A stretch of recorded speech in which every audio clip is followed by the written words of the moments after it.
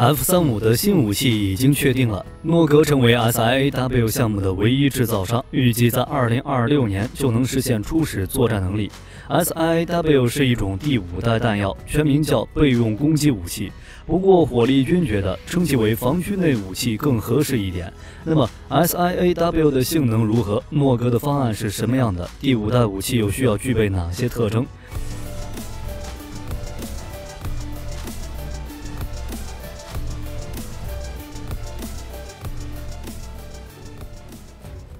说实话，现在的空对地武器完全配不上五代机。就比如 F 三五，现在经常使用的对地武器，主要还是各种精确制导炸弹，比如 G P U 系列激光制导，以及 GDAM 这种 GPS 制导的炸弹。至于空对地导弹，那是真的没有。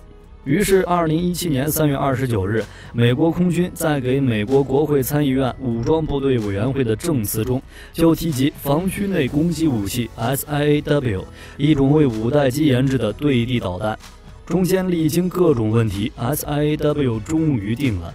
美国空军已经选定诺格公司为 F 三五制造新型对地攻击导弹，并且还为 SIAW 项目拨款七点零五亿美元，目标是二零二六年实现初始作战能力。这兜兜转转又回到了起点。SIAW 项目最开始的时候，美国空军就打算制定诺格，将其作为 SIAW 的唯一制造商。不过，在二零二一年四月的时候，空军向其他公司开放该计划的竞争，所以就变成了诺格、洛马、L 三、哈里斯三家公司竞标。第一阶段的合同只有九十天，资金也只有二百万美元。一般情况下，第一阶段结束后，最多两个承包商可以继续进入第二阶段。不知道为什么，这次诺格成为了唯一的获胜者。但无论过程如何，SIAW 都已经确定了。根据空军2024财年预算文件，SIAW 原型制造工作的总成本为11.4亿美元。验证原型导弹没问题之后，就可以与 F3 为继承。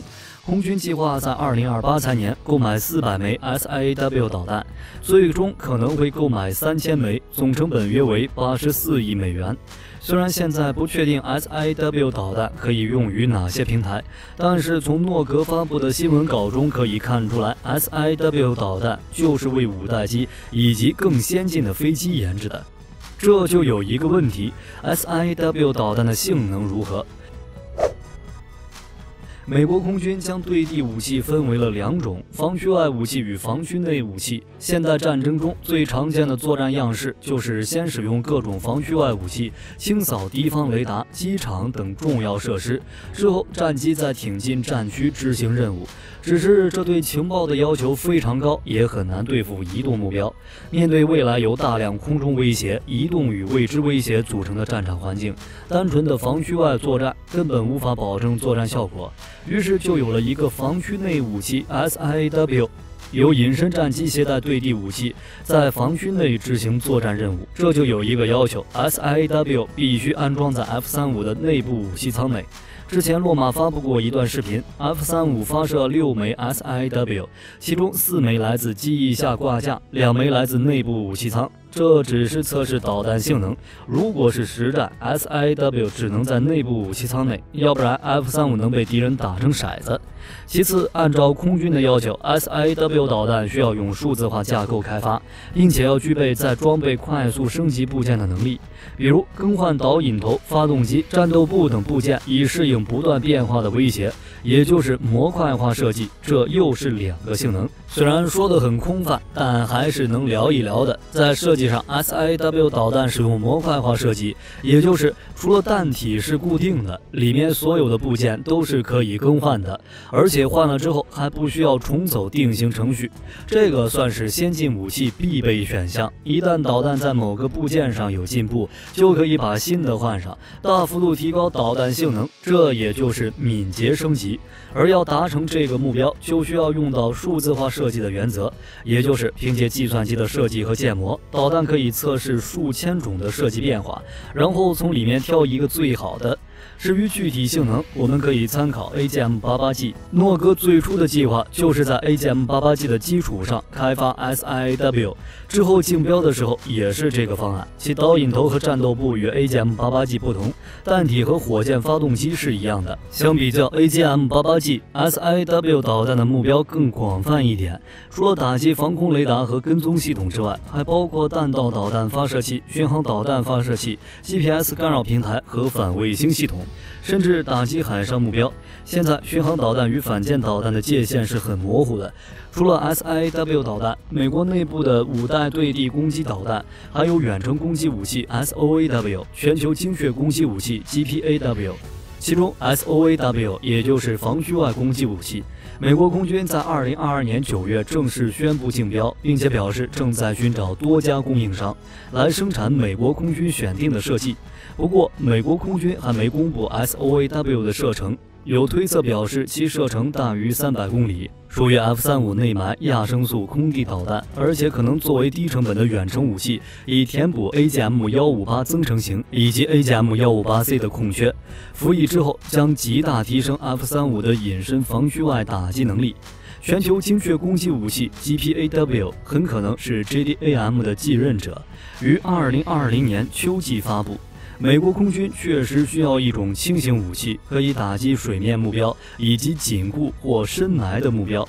重点是数量多、便宜。与 JDAM 相比，GPAW 需要有先进的传感器以及一定程度的自主性，毕竟是五代弹药。而且听说 GPAW 采用开放式架构，具备驾驶舱可选弹头能力。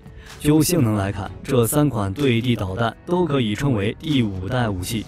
而且像这样的弹药，美国一共有十款。目前，美国空军研制的第五代武器可以分为三种：空对空导弹、高超音速导弹以及对地攻击武器这三类。除去对地攻击中的 GPAW、SOAW、SIAW，还有七款第五代武器，其中数量最多的就是空对空导弹，一共有五款，也就是 AM 二六零、LREW、MAM、有损、CUDA。就以上结果来看，五代弹药的特性已经清晰可见。第一，更具隐身性，这点无可厚非。战机从四代发展五代，最大的变化就是隐身性能，弹药也是如此。为了突破现代防御系统，第五代武器的可观察性必须低，直至他们到达交战终点。不过这也就意味着一件事：抗干扰能力必须很强。第二，速度更快，射程更远。速度快也就意味着探测到也没用，敌方防空系统很难在导弹击中目标之前将其拦截。这也是为什么现在各国都想研发高超音速武器。射程远就意味着可以在进入敌人射程之前发射，从而占据战场主动权。结构更紧凑，或者说体型更小。为了保证隐身性能，五代机都是在内置弹仓里放武器，弹药体积更小，战机可携带的数量也就越多。这就需要微型电子设备与新型推进方法了。同时，中程僚机也需要小型弹药，这些僚机的体积比有人战机更小，携带的有效载荷也就更小。数字化与模块化，第五代弹药可以基于计算机设计出一个最大组合。模块化设计可以生产效率，并且降低成本。开放式的架构的适用性也更高一点。协作性，这也算是一个重点。第五代弹药可以在到达目标途中收集信息，以最有效的顺序打击目标。美国空军正在试验这种群体攻击的概念。值得一提的是，美国为了未来可能发生的大国斗争，也是费尽心思。从美国空军2023年武器采购的情况里就能看出来，在2023的空军需求里，AGM-158 获得优先权。AGM-158B 属于此项支出中金额最大的单项型号，以七点八五亿美元购买五百五十枚导弹，这已经是连续第三年上升了。AGM-158B 在二零二一年采购了四百枚。二零二二年采购了五百二十五枚，同时美国空军还以一点一九亿美元的价格采购了二十八枚 AGM 幺五八 C 远程反舰导弹。只是 JASSM 系列性能确实好，但是太贵了。AGM 幺五八 B 的单价超过一百四十万美元，而 AGM 幺五八 C 单价达四百二十万美元。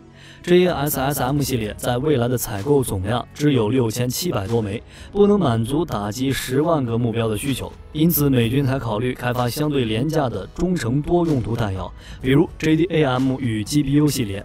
JDAM 在二零二三财年的采购量为四千两百枚，与此相比，二零二二年的采购量只有一千九百多枚，增加了一倍多。